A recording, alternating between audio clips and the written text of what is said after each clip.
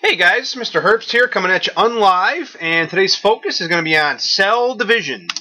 Uh, so what's the purpose of cell division? Well, there are actually several reasons. Uh, the most important reason is to make sure that the whole organism that the cells are in actually will grow larger. Um, also, we want to divide cells so that we can replace those old and broken cells. Uh, we also want to make sure that we can heal from injury. So we're going to replace those uh, destroyed cells from the injury with new cells.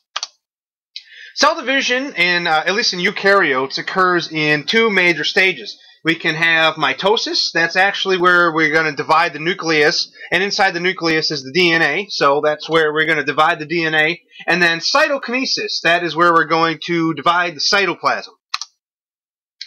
So biologists divide um, mitosis into four major phases. We have prophase, we have metaphase, we have anaphase, and we have telophase. Uh, if you take a look here, it those literally do spell out PMAT. So if you can associate PMAT or peeing on the mat with mitosis, you're going to do great. So cell division, here I have a diagram of what's going on in cell division. I am going to get out my different colored pen here. Uh, it's all it all starts here with prophase. That's this phase right here. That is I'm going to abbreviate P. And this next phase here, that's metaphase. That's M. And I'm going to abbreviate this one here. That's anaphase with an A. And then this guy here is telophase.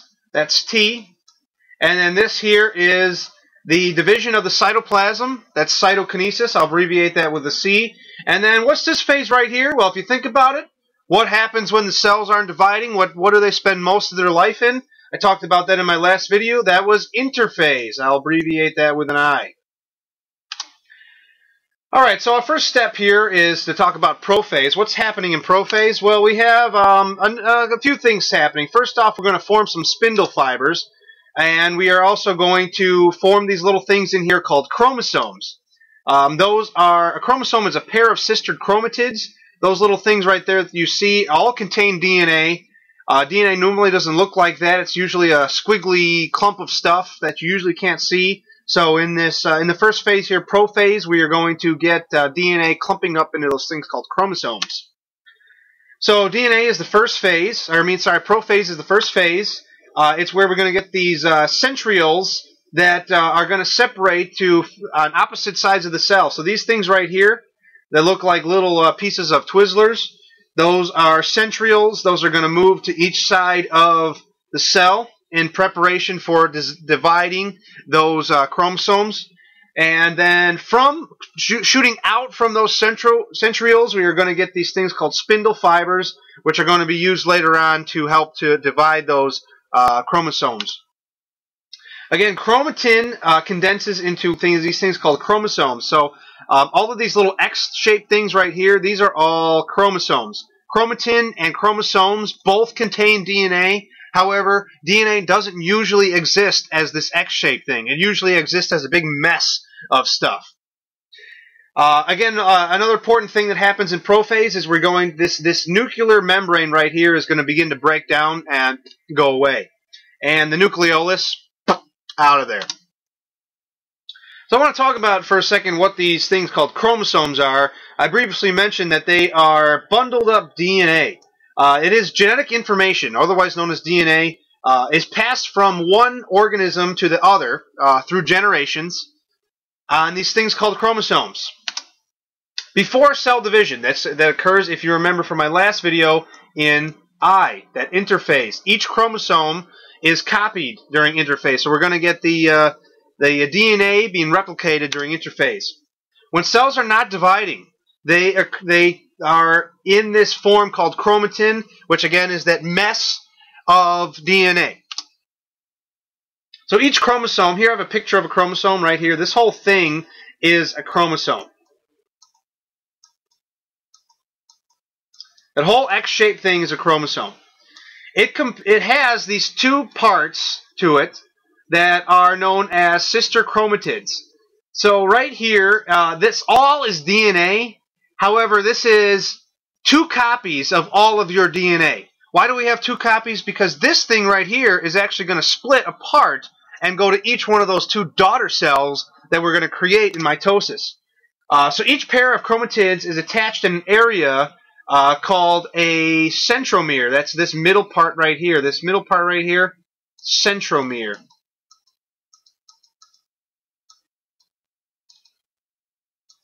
Think of that sort of like an anchor. It's holding it all together, the centromere, holding it all together. When a cell divides, again, uh, sister chromatids, these things right here are going to go into opposite sides of that dividing cell. Again, each new cell gets one sister chromatid. So anyway, that was prophase. What happens in metaphase? Uh, this phase right here is metaphase. The biggest thing that you can see is it looks like these things right here are lining up. And that's exactly what's happening.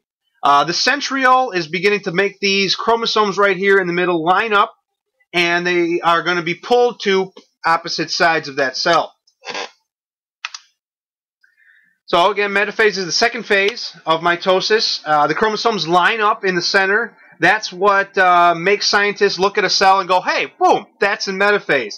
The chromosomes are all lined up in the middle of the cell, and the spindle fibers connect to the centromere. So if you if you if you look here, the spindle fiber, this fiber-looking thing, connects right there to that little dot, that little middle piece of the chromosome, and it's going to help to pull it apart and move each chromatid to each side of the cell. Anaphase, this is the third phase of mitosis. Uh, what happens in anaphase? Well, you can already look right here. It looks like the chromosomes are beginning to pull apart.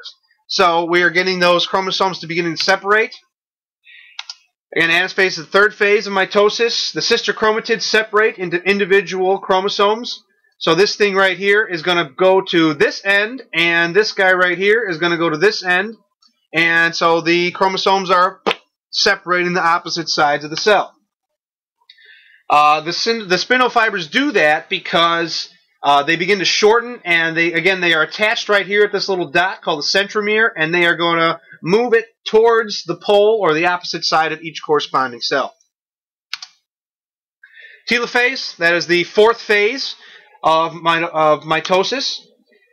It's the fourth and final phase of mitosis, and this is basically where we finish up cell division, where we finish up mitosis. Uh, chromatids are pulled to the opposite poles of each cell. So uh, you can see here that we, it looks like we have two cells beginning to form. Uh, each one has its own chromatid. Each each one has its own sister chromatid called the chromosome. Uh, the nucleolus begins to form again, and the nuclear membrane begins to form around those existing chromosomes. The last thing that's going to happen in cell division is we are going to have to split the cytoplasm.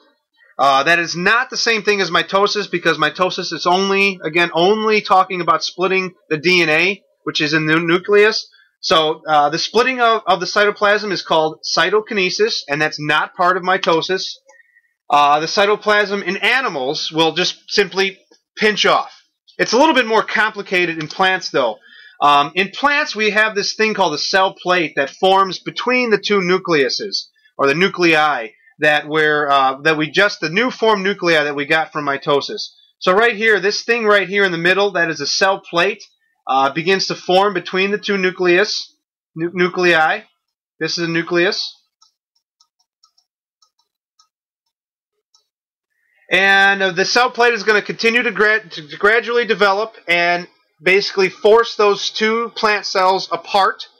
And as they are forced apart, a new cell wall will begin to form where the cell plate was and divide those two uh, plant cells in half. Let's go ahead and review.